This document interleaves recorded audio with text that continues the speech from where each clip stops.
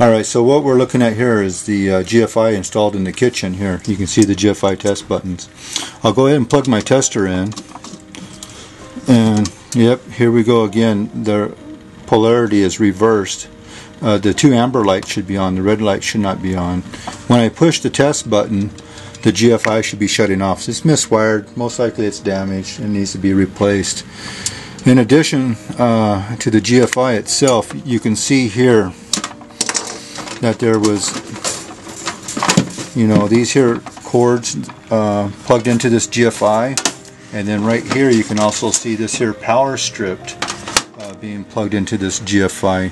Now if you go ahead and you pan back, Josh, in the kitchen here and just take a look at all the major kitchen appliances we have here. We have some type of a huge toaster oven here, a microwave, uh, a nice espresso coffee pot or something, a nice refrigerator, freezer, and then a wine cooler up on top of the fridge there. So here's a kitchen that is totally being overloaded. There's just not enough outlets inside this kitchen to support the today's load that we have, you know, for all the nice things that are available.